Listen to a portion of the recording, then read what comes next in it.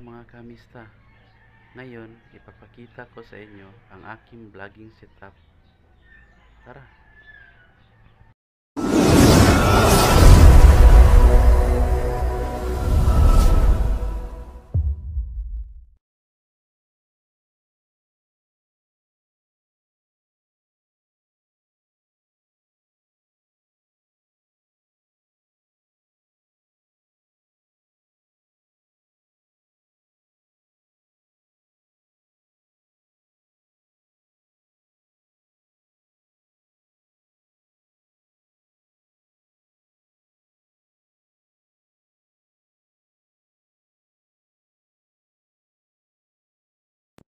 Tripod, ito yung hawakan natin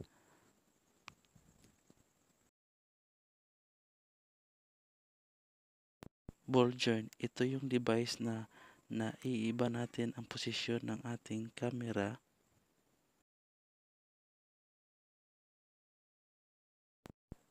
Frame case, ito yung attachment natin sa ating ball joint at sa ating action cam. Ito naman ang ating action camera.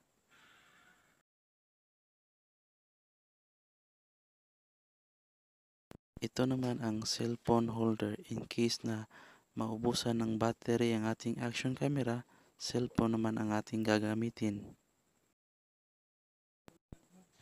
Mga kamisa, ito na po ang set ng aking camera at yung pang-edit ko ay yung cellphone ko. Yan. Maraming salamat mga kamisa.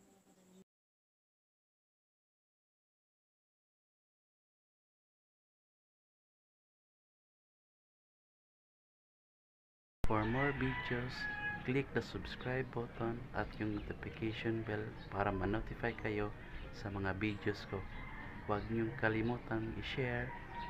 Maraming salamat mga kamista. Bye-bye.